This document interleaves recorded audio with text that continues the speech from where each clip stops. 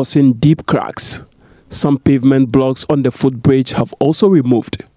Residents around the Abofu area say the height of the track was higher than the bridge, but it forced its way through. Car no free time and but speed now the need too much. To that machine or form. The track was coming from Tema with a top speed, and his machine was higher than the footbridge. Looking at the height, he should have either dropped the machine on the track or returned back. But because of the uncontrollable speed, he drove under the footbridge, with force resulting in a shift on one side. Many authorities have come to inspect alongside some engineers, but to no avail. We panic each time we pass on it. We feel it may collapse. It's scary.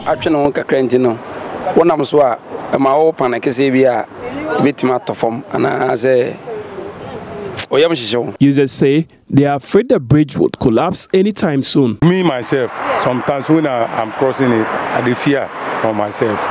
But the other people, I don't know how they feel.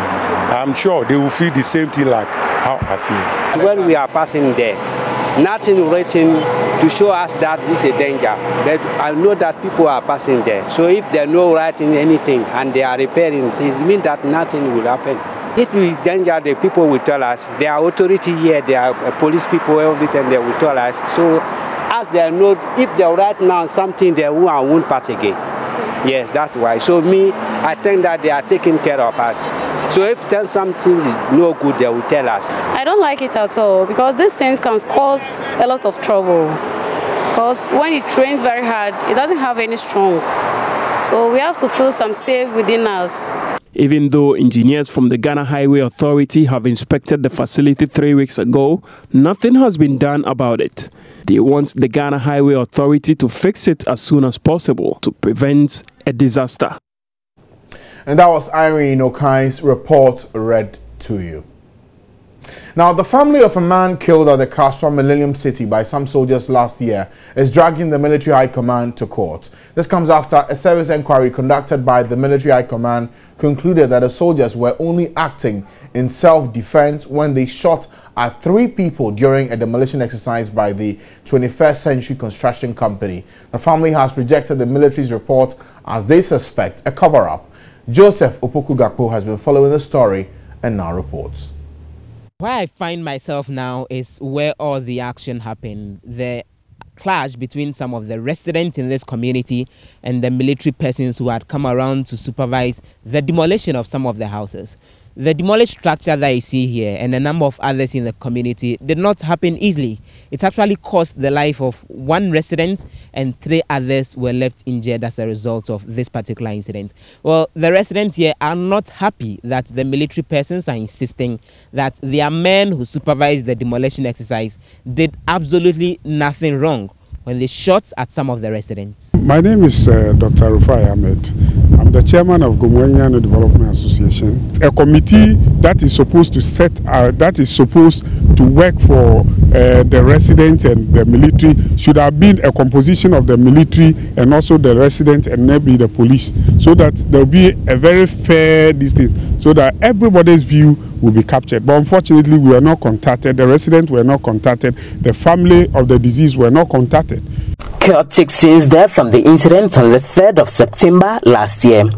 Two people were shot in the leg, and one, Michael Asaredako, aged 30, was hit in the head. He died later at the Korle Teaching Hospital. A copy of the autopsy report signed by Dr. L. Edusei, which Joy News has intercepted, gave two reasons for the death high velocity gunshot injury and fractured skull with cerebral convulsion.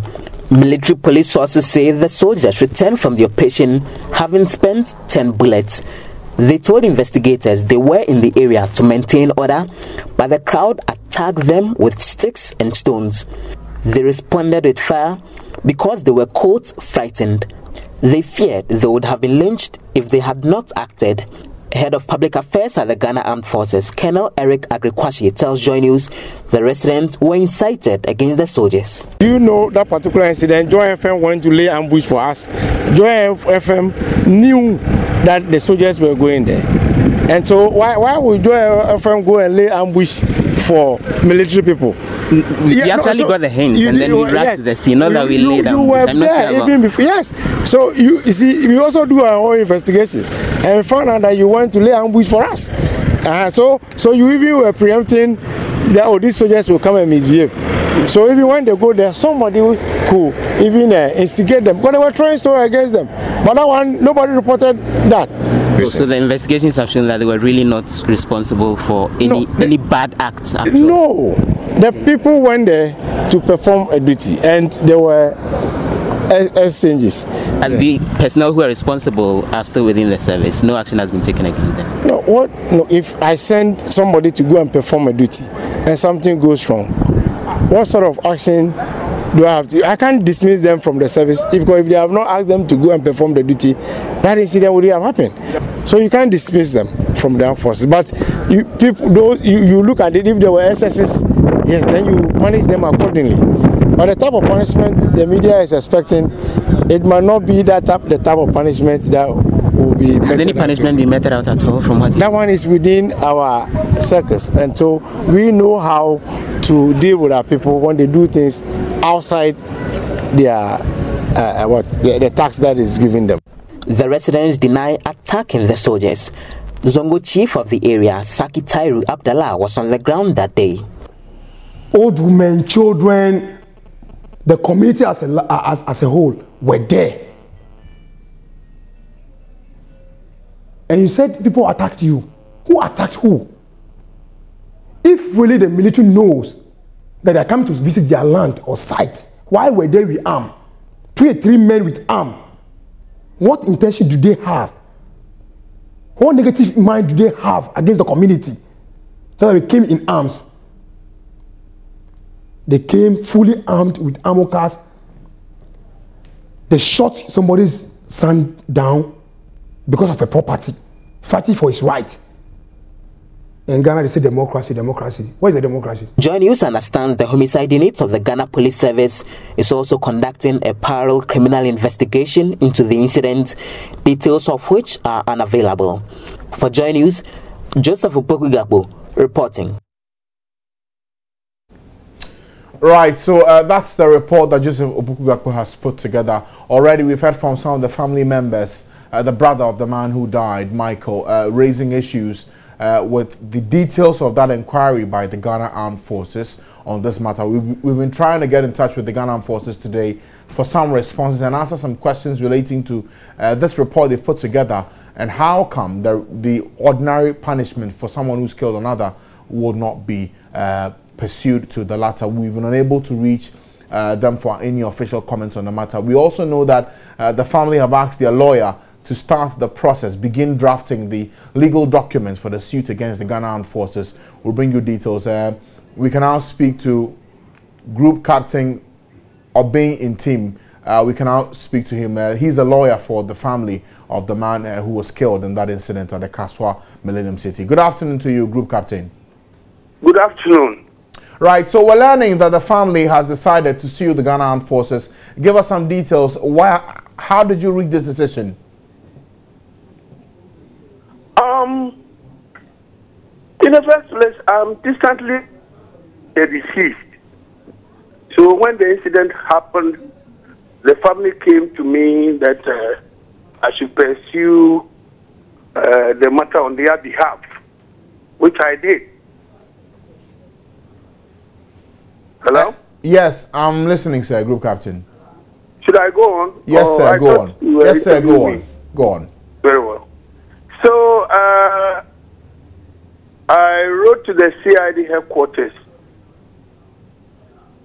and then made two visits, one to the military police, uh, military police headquarters, and the other to the chief of staff's office. I met the then chief of staff, who said, who told us that uh, the issue was one involving uh, a death of a, a civilian. So it had a uh, police angle. So they were waiting for the report from the mili- uh, from the civil police. Also, they had conducted. They, they were conducting investigation into the incident on their level, that is uh, the military level, military angle, mm. and that uh, the military police were handling it. They were handling it, so we should wait for the report to be brought. Uh, waited for some time, the report wasn't coming, so I made a second visit to the Chief of Staff's office uh, about two ago. And uh, he also said the report was still not in, that they will wait.